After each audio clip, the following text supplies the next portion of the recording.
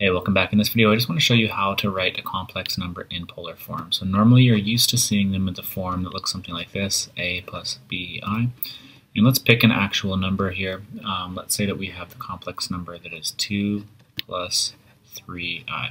So if we go ahead with our standard um, geometric interpretation of this, we can plot this complex number on the complex plane, where a is 2 and b is 3. So we can think of the complex number z as a point in this Cartesian space, uh, just with the coordinates a, b. But there's another way that we can represent this, and it is with polar coordinates, which we would have an angle here, theta, and the length here, r. We can basically identify any point with either Cartesian or polar coordinates.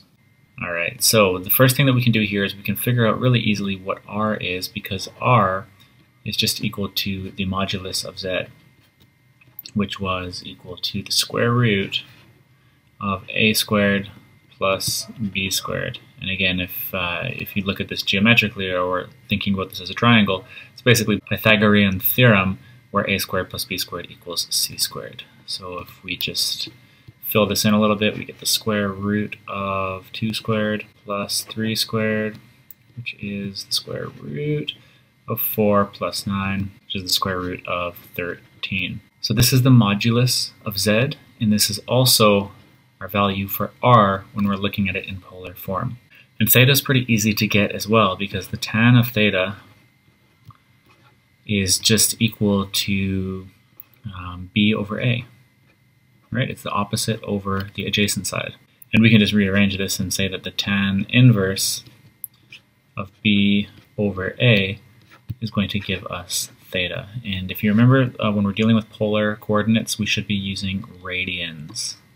Uh, theta we call the argument of z. Sometimes you'll be hearing that. And if theta is between negative pi to positive pi, we call it the principal argument. And the reason we make this distinction here for the principal argument is because there's actually an infinite number of thetas that work for defining this uh, complex number in polar form because we have, if we imagine that we start rotating our angle here from the real axis, um, we can come out to theta, but if we add another full rotation, which is 2 pi radians, we're going to have a different theta. It'll be basically this theta, this angle plus 2 pi, and then and that satisfies our, our format here. We can add another 2 pi, we can add another 2 pi, or we can subtract uh, basically any integer multiplier of 2 pi's. Um, and so the, basically the simplest theta that we can deal with is one that is basically in this first half of the rotation or in this area. So if you're using your calculator like this uh, with tan inverse function, it will spit out a value and you just have to check by basically, I would recommend plotting the, uh, the vector here uh, as you can using A and B uh, in the Cartesian point and just identifying which quadrant it is. Is it one, two, three, or four?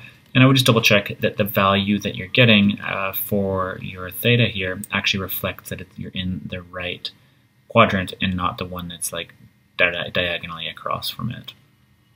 Uh, because that is possible using your calculator.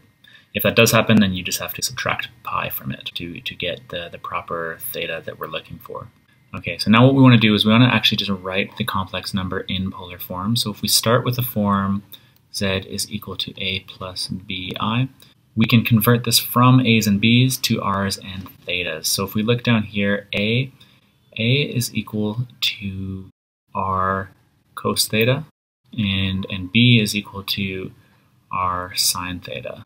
So we can make the substitution here.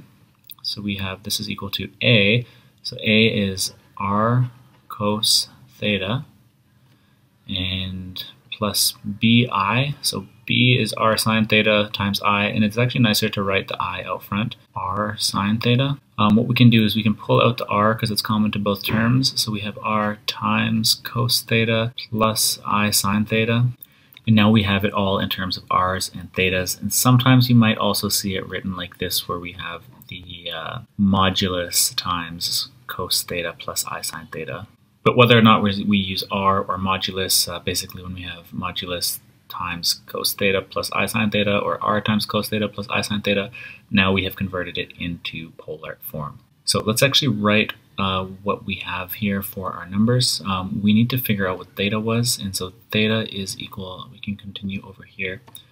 Um, theta is equal to tan inverse of b over a, so the tan inverse of b over a, so b is 3 over 2. If we put this in the calculator with radians on, we find this is 0.983, and the decimals go on forever, but let's just cap it at 3 here for now. So this is equal to theta, we have theta, we also had r right here, so we can write our complex number here. We have z is equal to r, which is root 13, times cos of 0.983 plus i sine of 0.983.